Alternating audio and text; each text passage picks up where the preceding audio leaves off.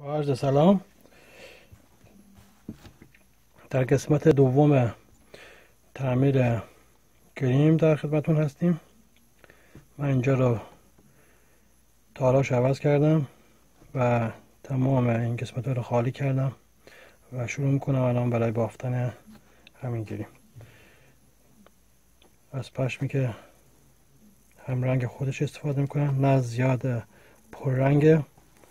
چون زیاد من نمی‌خوام که بازی کنه پشم داخل این تارها خاطر همون خیلی نزدیک خودشو انتخاب کردم.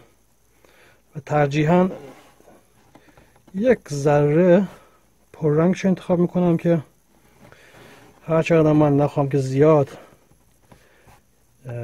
این پشم داخلش داخل این تالها این برون بر بره باز هم یک ذره سابیده میشه. بعد ترجیحا من یک ذره پررنگتر انتخاب می‌کنم که بعد بعدا موقعی که اتو می‌زنیم موقعی که کارمون تمام آتیش می‌زنیم که پشما پرزا از بین بره و پشت کارمون تمیزتر و صافتر بشه. یک ذره من رنگش پر رنگتر انتخاب می‌کنم.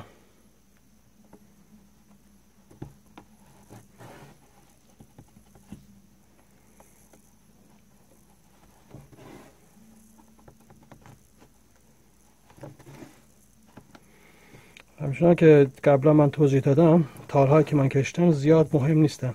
و مهم اینه که هم اندازه تارهای خودش باشه که موقعی که ما میبافیم جایی که بافته شده نازکتر و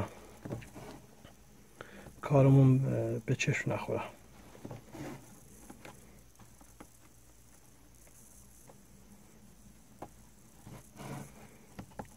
من می‌تونم با یه دستگاه ابزار دیگه برای شما معرفی کنم. همون گلاب بافندگیه شماره های مختلف داره می‌تونید با هم کار کنید. و خاصیت این اینه که یک ذره می‌تونید جایی که می‌خوایم ببافید بزرگتر بردارید چون سوزن نصف اینو همین می‌تونه چیز کنه. جاهایی که خیلی تنگ هست ترجیحا با سوزن کار میشه کرد. جاهایی که زیاد تنگ نیست و می‌تونید که با این ابزار هم می‌تونید با ادامه بدید که به کارتون.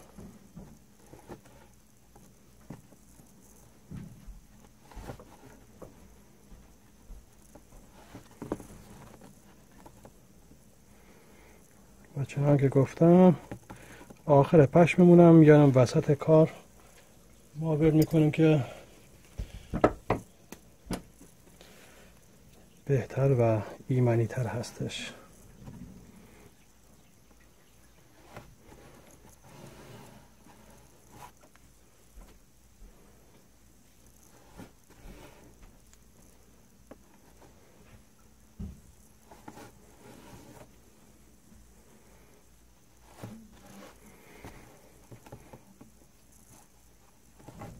کارمون یه ذره درشت بافت هست.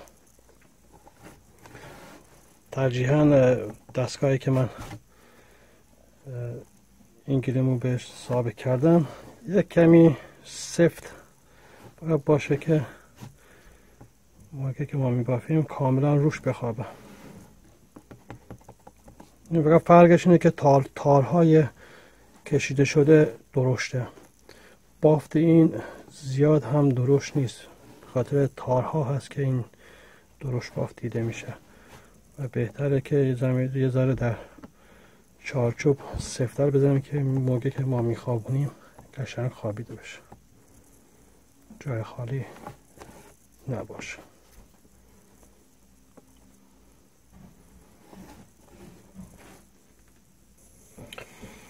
حالا به این قسمت که رسیدیم چنان که می‌بینید نقشه ما طرح ما اینجا پل داره.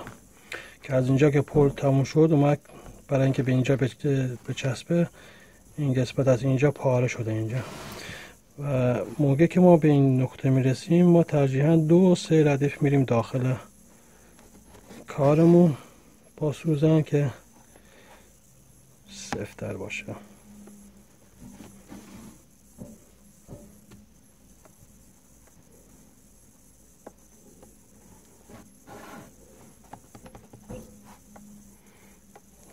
ردیف که ما بافتیم باید حتما بخوابیم پایین که موقعی که داخل کار رفتیم اینجا.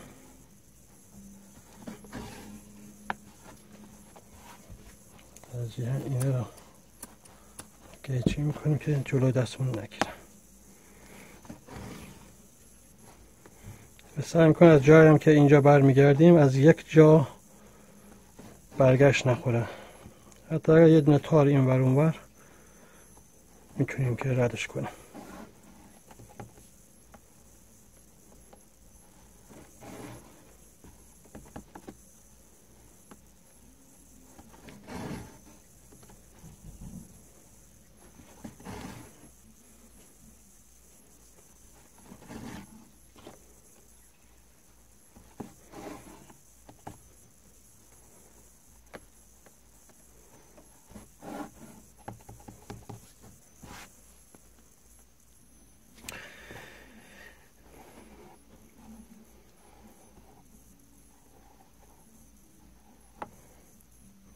اینجا ترجیح میدم که آخر پشم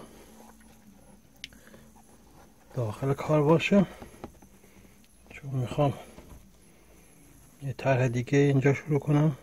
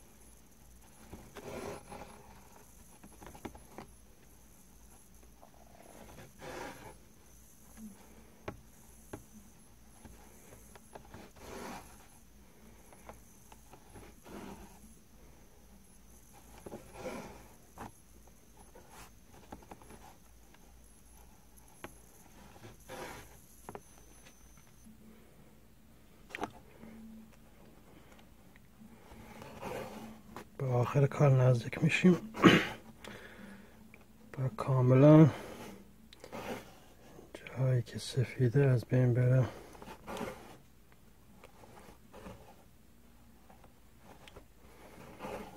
جایی که می‌تونیم. جای سفیده با پشم میپیشونیم. بعد اینکه کار تموم شد کمک فندک مشعل. روی کار رو پرزداش رو می‌گیریم و تمام گره اضافه, اضافه و کیچی می‌کنیم و کارمون تمام میشه.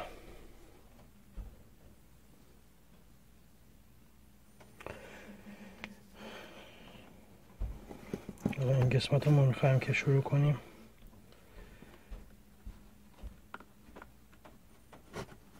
زیاد جای مهمی نیست فقط یه با یه تک رنگ اینجا رو پار می‌کنیم.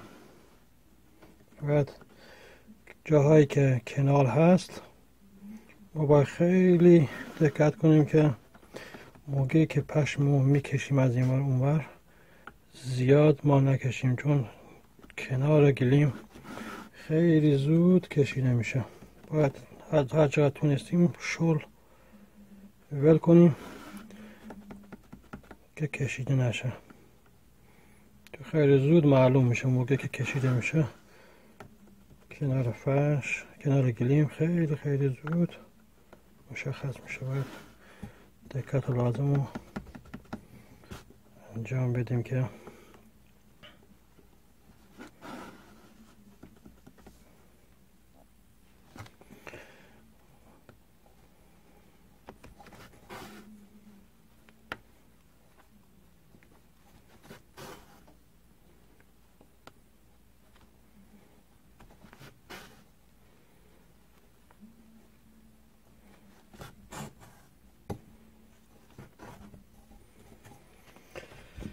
اوکی کارمون اینجا تموم میشه. با ترجیحان. آخر روزم و آخر تد... آخر پشمو داخل کار ما تموم می‌کنیم. چی می‌کنیم؟ و بعدا اینا تمیز میشه. بعد اینکه آتیش دادیم تموم میشه. در کلیپ ما کلیپ بعدی همراه ما باشید. متشکرم.